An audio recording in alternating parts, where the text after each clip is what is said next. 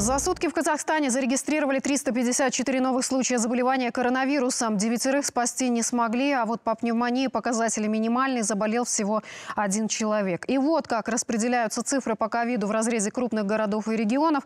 Нур-Султан на первом месте, там прибавилось 76 заболевших коронавирусом, в Алматы на 27 меньше. Значительно отстает Шимкент, плюс 7 новых случаев.